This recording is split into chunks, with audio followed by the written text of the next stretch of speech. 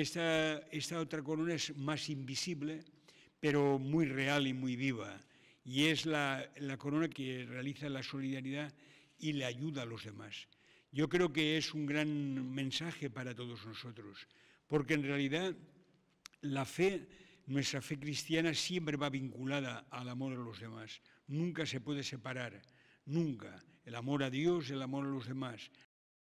La devoción debe estar unida a la acción, ¿eh?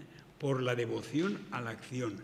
Y la acción social en este momento es muy importante, y sobre todo en áreas en las que especialmente está en juego la dignidad de las personas, sus posibilidades de vida, tantos valores como desarrollan las entidades que precisamente se benefician de estos donativos.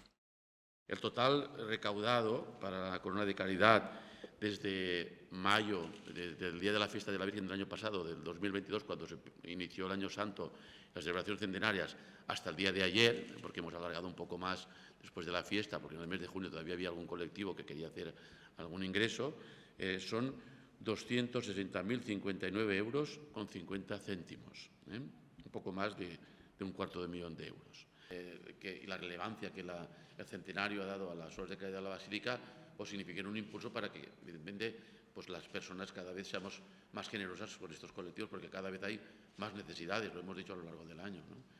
Apostamos directamente por personas. ¿eh? Son personas con un trastorno mental grave y con una exclusión social.